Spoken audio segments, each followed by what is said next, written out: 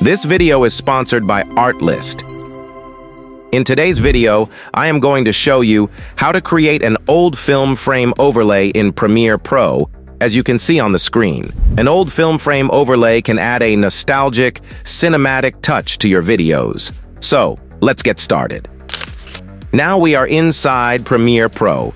As you can see on the timeline, I have got a stock footage from Artlist. Artlist is an all-in-one platform for video creators, providing you with the highest quality digital assets made by leading artists worldwide. With Artlist, you can access a vast library of high-quality music tracks, sound effects, footage, and templates. Artlist offers a user-friendly website interface, making it easy for you to browse, search, and discover the perfect assets for your projects. Once you find the right track, you can download it and use it in your projects without worrying about any licensing issues. Artlist takes care of all the legalities, giving you peace of mind and freeing up your creative energy. From YouTube videos to films, commercials, and everything in between, Artlist licenses their music for all types of projects. It's the perfect companion for enhancing your visual storytelling and capturing the essence of your creative vision. Visit artlist.io today and start creating with the power of music at your fingertips. So, let's back to the tutorial. First of all, from the project panel, we have to create an adjustment layer. And then, let's click on OK.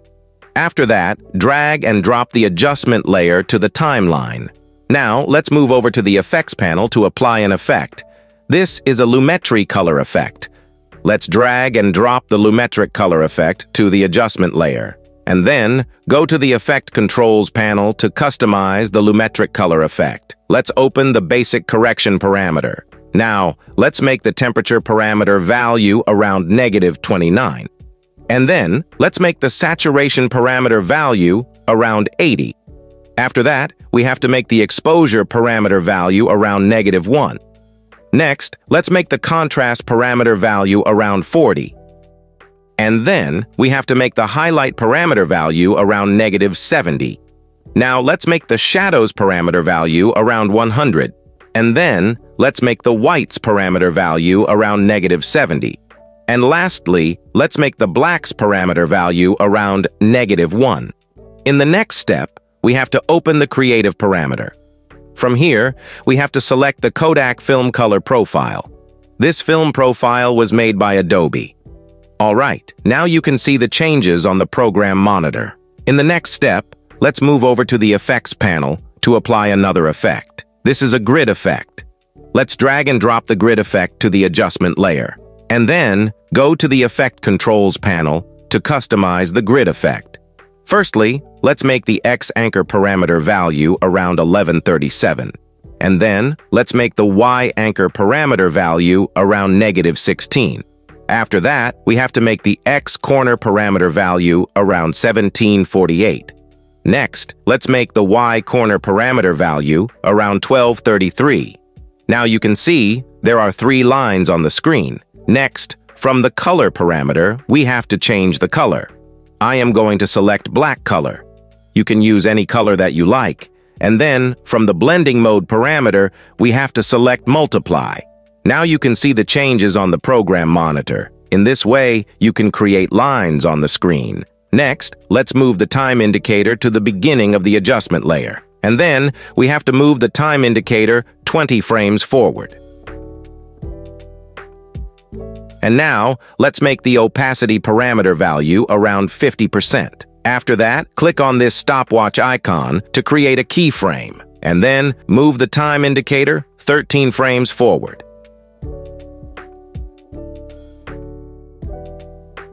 After that, make the opacity parameter value around 0%.